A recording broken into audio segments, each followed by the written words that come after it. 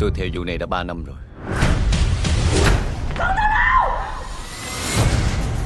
Đây là một đường dây quốc tế. Toàn bộ kéo dài từ đèo Hải Dân và tới Cà Mau. Tám đứa này nữa là mình được 30 đứa số hàng chỉ này rất là lớn.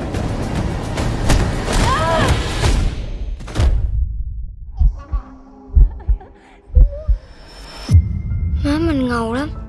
Cái gì má cũng làm được hết á. Tôi đúng là người mẹ tội lỗi con Nếu mà bây giờ anh muốn cản tôi á Thì anh hãy bắn tôi chết đi.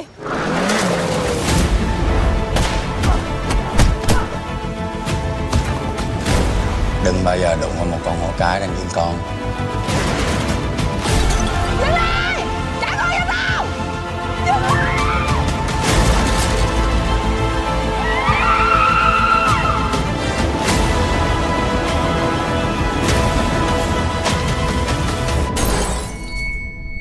Tôi sẽ đem con bé về. Bằng bất cứ mọi giá.